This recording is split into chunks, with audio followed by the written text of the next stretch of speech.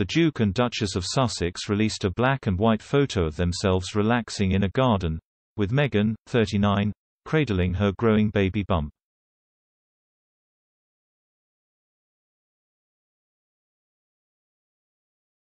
A spokesperson from the pair confirmed that they are expecting their second child.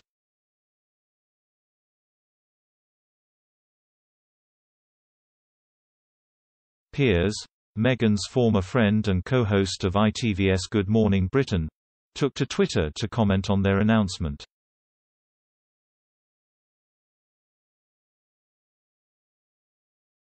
He tweeted the snap released by the Sussexes and said he believed the couple had chosen to release it to make sure their story gets more attention from the press.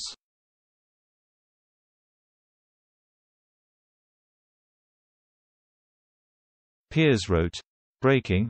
Harry and Meghan have announced they're pregnant and released this cheesy photo of themselves to ensure the media gives the story about their private life more prominence in their latest courageous effort to stop the same media focusing on their private life.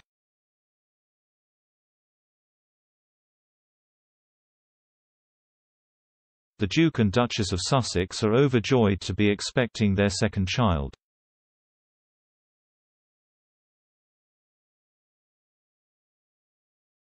It is not clear where the photo of the Queen's grandson and his American-born wife was taken.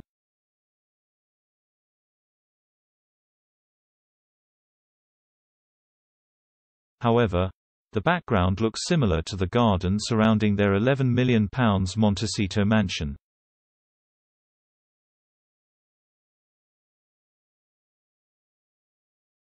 In the run-up to the U.S. presidential election in November, Harry and Meghan filmed a video shot in the lush gardens.